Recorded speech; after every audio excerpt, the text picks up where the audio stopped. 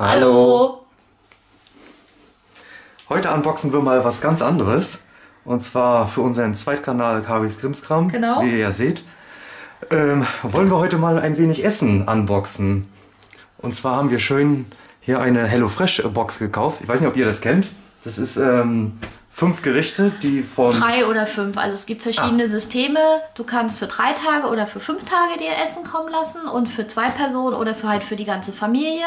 Es gibt gemischte Boxen, so wie wir haben, mit Fleisch, weil Fleisch, wir lieben Fleisch. Ähm, es gibt auch rein vegetarische.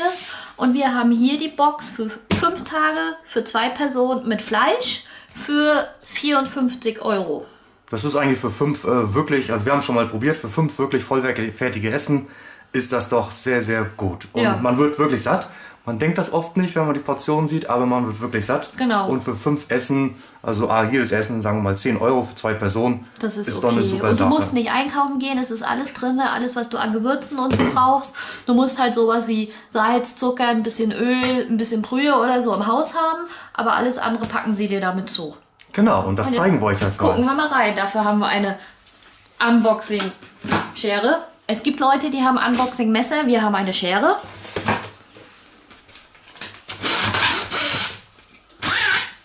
So, Und jetzt machen wir mal auf. An der Seite ist immer so ein bisschen Motto of the Week. Ich weiß nicht, seht ihr das? Ja, diesmal ein Grünkohl, den gab es letzte Woche. Und da sind auch immer die Gerichte drin. Einmal so ein bisschen Tipps und Tricks, so ein kleines Rezept der Woche. Diesmal ist es ein Smoothie, können wir auch mal machen. Natürlich. Sehr lecker. Ähm, und sie verraten schon immer, was es in der nächsten Woche gibt. Aber Oh. das gucken wir uns nicht an, weil nächste Woche ist nächste Woche. genau, man muss wissen, es ist ein Abo. Genau. Das heißt, man bekommt das jede Woche, es sei denn, man äh, teilt dem mit, dass man dann eine Woche mal aussetzen möchte. Aber sonst wird es jede Woche automatisch geliefert. Mhm. Genau. Und die haben dort ähm, Testköche, äh, so eine, auch eine riesengroße Testküche. Und Und probieren immer alles einmal vor, damit es auch wirklich für Amateure nachkochbar ist, auch in der angegebenen Zeit. Hier unten schreiben sie immer, wie lange man braucht, 40 Minuten, an welchem Tag, also an Tag 1 bis 3. Das heißt, da ist was Verderblicheres mit drin, was nicht für 5 Tage haltbar ist, welche Erfahrungsstufe das braucht. Das ist jetzt nicht ganz anfängermäßig, das ist fortgeschrittenen, also Stufe 2, was sie da mit reinpacken. Also hier geht es um die marokkanische Zucchini-Hähnchenbrust. Ähm, und auf der Rückseite hat man dann schon entweder für zwei Personen oder für vier Personen die Zutaten und was man machen muss. Und hier oben hat man dann noch Salz, Zucker, was man halt im Haus haben muss. Und das hat man dann auf fünf Karten für die ganze Woche. Ähm, jede ist im Endeffekt identisch aufgebaut. Und passend dazu hat man dann auch das Essen da drin. Interessant ist hier oben die Farbe. Auf die kommen wir später nochmal zu sprechen auf den Rezeptkarten. Ah ja. Und die Essen, die wiederholen sich eigentlich bis jetzt. So gut wie nie. Es gibt mal im Jahr eine Best-of-Woche, wo die nochmal die Rezepte wiederholen, die am meisten geliked wurden im letzten Jahr. Aber das ist ja dann innerhalb von einem Jahr ist das völlig in Ordnung. Und dies ist jetzt unsere zweite Lieferung. Genau. Und bei der ersten Lieferung, das können wir ja auch mal zeigen, ähm, gab es dieses, ähm, dieses tolle, ähm, dieser tolle Den Ordner, Ordner. genau. Und dort kann man dann immer die Rezepte dann lochen, einheften und kann das auch mal nachkochen, wenn man äh, möchte. Hat die Zutaten hier unten ja, wie schon gesagt, und kann das dann nachkaufen und auch nachkochen. Das ist natürlich Genau. eine tolle Sache. Und auch sehr, Sehr schön. sehr schön Sieht gemacht. gut in der Küche aus. Wirklich wahr. Und jetzt seht ihr eigentlich alles sehr, sehr gut verpackt. Und ich möchte auch noch kurz zeigen, das ist nochmal die Gerichte von letzter Woche. Eine wirklich sehr, sehr tolle Suppe war mit dabei. Der Salat war überraschend mit dem Bulgur, wo wir am Anfang beim ersten Ab Haps dachten, hm, und mit jedem Haps wurde es leckerer, ne? Ja, kann man wirklich sagen. Es ist auch ein warmer Salat, also kein kalter Salat, so wie ich zuerst dachte. Es ist ein warmer Salat. Eigentlich Wirklich- sind alle Essen immer warm. Genau, dann haben wir Rinderschmortopfen mit Wurzelgemüse.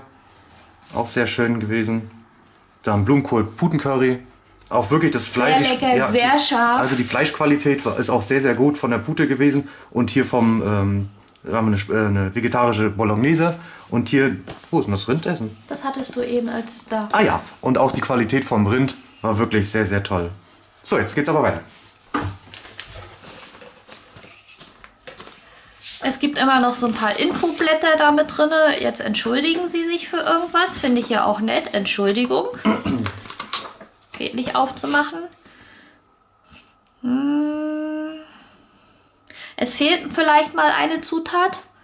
Ähm, Sie versuchen das dann zu ergänzen und vielleicht das Gericht dann auch neu zu planen.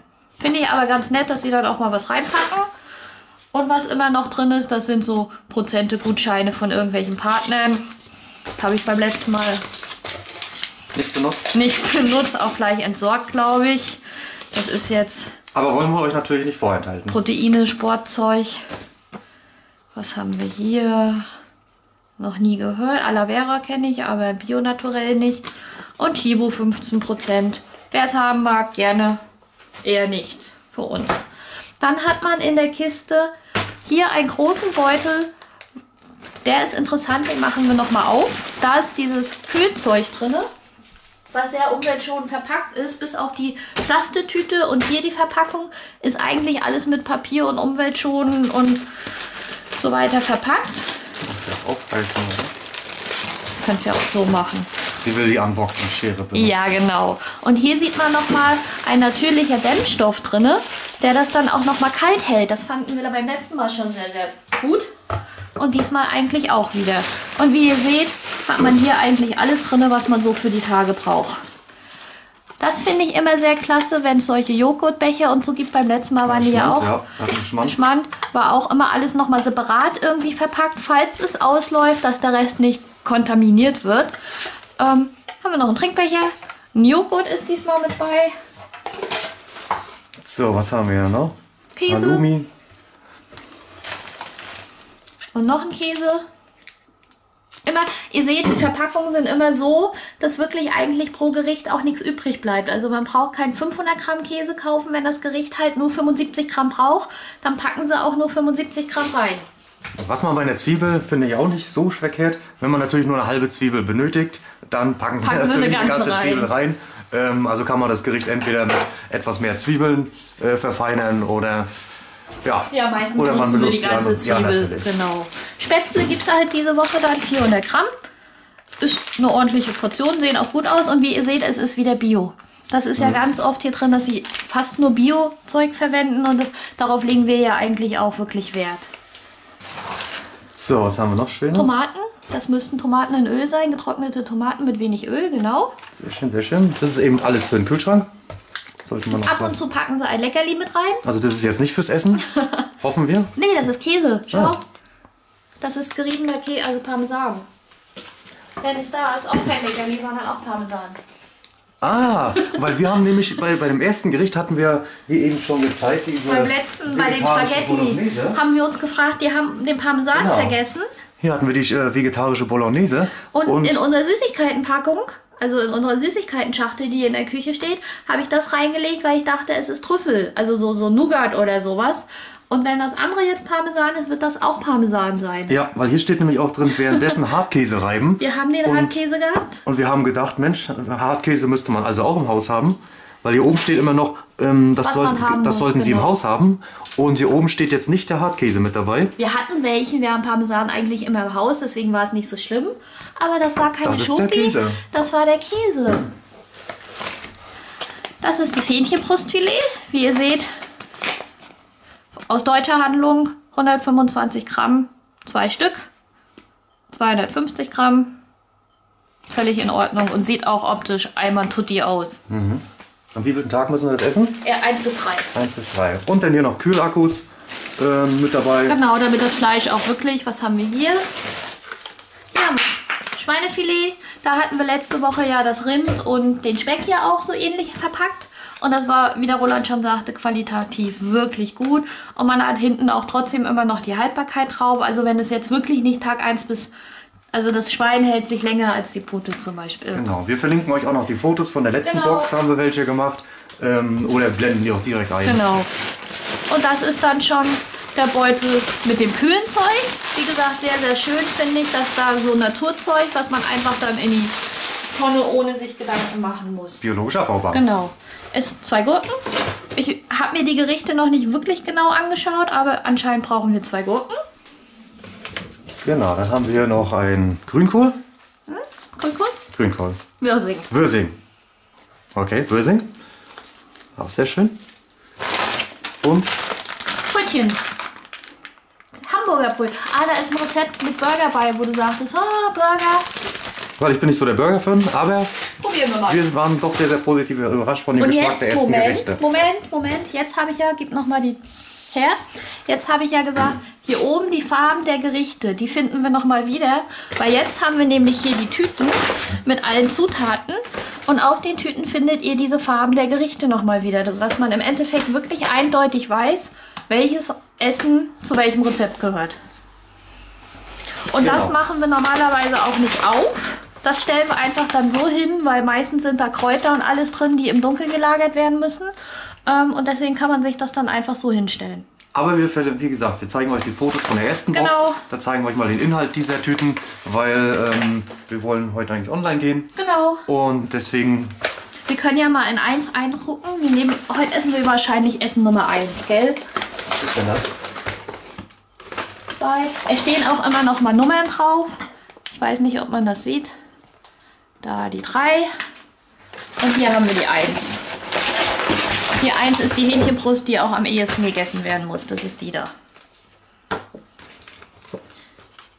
Zucchini Hähnchenbrust. Und würde ich sagen, machen wir heute auch. Dauert auch am längsten, ist für unter der Woche vielleicht eher zu lang. Dann reißen wir mal auf. Und dann zeigen wir euch mal, wie das eigentlich innerhalb dieser Tüte ausschaut. Ihr seht, es gibt die frischen Kräuter dazu. Auch immer nur so viel, wie man wirklich für das Gericht braucht. Ja, knistern tut's, kann ich leider nichts für. Eine Zwiebel. Wie eben erwähnte Zwiebel. Essen. Ja, ihr denkt, das sieht überschaubar aus, aber zusammengemischt ist das dann doch sehr, sehr viel. Hier Die Gewürzmischung. Gewürzmischung. Tatare. Was auch immer da drin ist. Haben wir noch schönes? Eine Zucchini. Ah ja. Halbierte Zucchini. Und den Reis oder was auch immer dazu gehört. Reis. Reis. Basmati-Reis. Und schon ist die Tüte alle. Die Tüte kann man recht gut dann nachher für Den Abfall den benutzen. Abfall benutzen. Nein, da ist noch was. Senf. Haben wir aber auch immer im Haus. Ja. Und so sieht eigentlich der Inhalt jeder dieser Tüten aus. Halt unterschiedliche Zutaten. Ähm, und so macht man die dann einfach am Tag des Kochens auf, holt sich seine frischen Sachen raus. Ja, und fängt an zu kochen. Ja, und was ich noch empfehlen würde, geht bitte alle Gerichte vorher nochmal durch. Schaut, was ihr im Haus haben äh, solltet. Weil wir hatten letztens ein Gericht, da haben wir. Brauchen wir Brühe, wir Genau, nicht Hühnerbrühe und die hatten wir nicht. Und das hätten wir gerne am Sonntag gekocht. Ja. Und da hatten leider alle Läden zu, konnten wir nicht einkaufen gehen. Also, wenn ihr es bekommt, schaut drauf, was ihr ähm, im Haus haben solltet. Und, Meistens hat man das auch. und schaut, ob ihr das noch einkaufen Ja. müsst. So, das war's jetzt aber dazu. Nachher zeige ich, würde ich sagen, zeigen wir euch nochmal das fertige Gericht von heute. Das können wir euch heute noch machen. Genau. Und dann guten Appetit. Bis später. Bis später.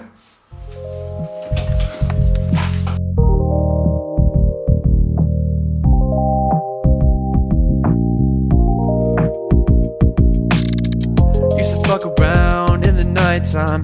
Used to feel like that shit was my lifeline. Yeah, we kept it cool, feeling so high. Young soul, young soul in summertime. Used to think that I could never live without it.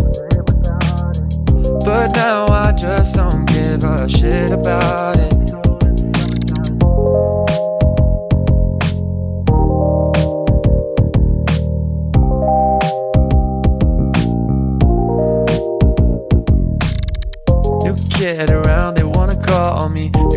Hit me up so constantly. Always trying to take one step forward, keep going till I'm right where I wanna be. And we living life, nobody can tell me how to live it right. I've been keeping at it every single night, started from the bottom.